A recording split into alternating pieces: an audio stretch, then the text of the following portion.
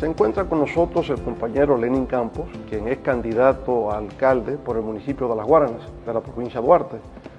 Bueno, compañero Lenin, ¿cómo está la situación allá? Muy bien, gracias a Dios. La gente cada día más sumándose al proyecto.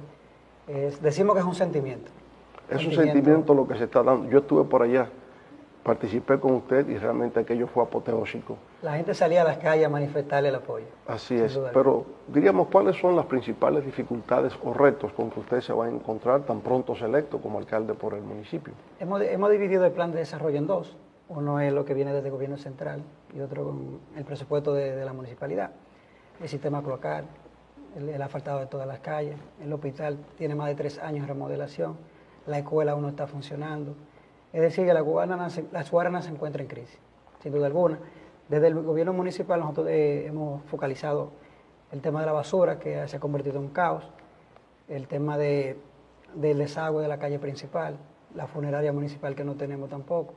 Esos son los principales ejes fundamentales y otros que ya que hemos visualizado como áreas verdes, crear espacios para la juventud y participación. También hemos creado también eh, en nuestro plan de gobierno que pretendemos crear un fondo eh, de emprendimiento para los jóvenes para tratar de estimularlo a que desarrollen proyectos. ¿Qué tipo de actividad de emprendimiento podrían hacer los jóvenes en las Guaranas, por ejemplo? Bueno, eh, a través de los programas que usted ha desarrollado hemos aprendido que temas como reciclaje, sí es decir, que lo importante es que ellos creen un proyecto, nosotros a través de esos fondos darle seguimiento. Hemos establecido a través de nuestras relaciones internacionales también contacto con, organizaciones que estarán también apoyando el proyecto. Pero sobre todo nosotros, eh, como candidato más joven del país, tenemos un compromiso de no fallar con el tema de la transparencia que usted tanto ha impulsado. Y hemos creado eh, como eje esencial para el desarrollo del municipio de La Guarana una comisión de vigilancia que estará integrada por el padre, la Iglesia Católica, alguien de la iglesia evangélica, porque está sobregada en varias, la presidenta o presidente de junta de vecinos, como alguien del sector privado que genere confianza, para así garantizar el presupuesto participativo y que esa comisión tenga acceso a la cuenta del ayuntamiento, cuánto llegó y qué se está invirtiendo, para garantizar que los fondos del ayuntamiento se utilicen de manera correcta. ¿A cuánto asciende el presupuesto de las Guaranas? el año pasado, de manera general, eh, se manejaron 62 millones 823 mil pesos. ¿Mensualmente? Mensualmente, sin los fondos de gobierno central, estila unos 4.2 aproximadamente.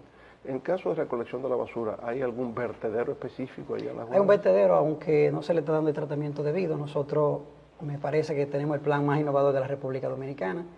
En la primera etapa, que son los, primeros tres meses, vamos a desarrollar un plan de organización, calendarizar el tema de la recogida de basura. Hoy en día el municipio se encuentra en crisis, que nos obliga a nosotros de manera inmediata a declararlo en estado de emergencia vamos a aumentar la frecuencia de, los camiones para la recolección de basura, pero también pretendemos eh, recaudar fondos con, la basura. Eh, hoy en día es un problema porque eh, el ayuntamiento gasta más de 400 mil pesos mensuales en la recogida de basura que realmente no se está recogiendo. Nosotros en, la segunda etapa ya hemos hecho contacto a través de la Unión Europea para ver cómo instalamos una planta de reciclaje. Es decir, que sin duda alguna la Guarana será ejemplo del tratado o, del manejo de los residuos sólidos, no solo de la provincia de Duarte, sino del país. Y sobre todo de cómo la juventud, la nueva generación, se está haciendo cargo ya de sus responsabilidades. Así es, tenemos un compromiso de no fallar, no solo por el tema de la juventud, sino porque el partido ha creído en nosotros como jóvenes, hay una gran juventud que se ha sumado, nosotros con apenas 28 años de edad, yo siempre le digo a los municipios, solo tenemos un solo camino, que hacer la cosa bien, de manera correcta como se nos ha estimulado en la Fuerza del Pueblo. Muy bien. Bien amigos, ha sido un diálogo con el compañero Lenin Campos, candidato a alcalde por el municipio de Las Guaranas, en la provincia de Duarte, y eso será ya el próximo 18 de febrero, cuando los electores de Las Guaranas irán a las urnas a depositar el voto en la casilla número 3, la casilla verde, donde estará el nombre de Lenin Campos. Éxitos. Gracias, presidente. Es para adelante que vamos. Es para adelante que vamos. Eso.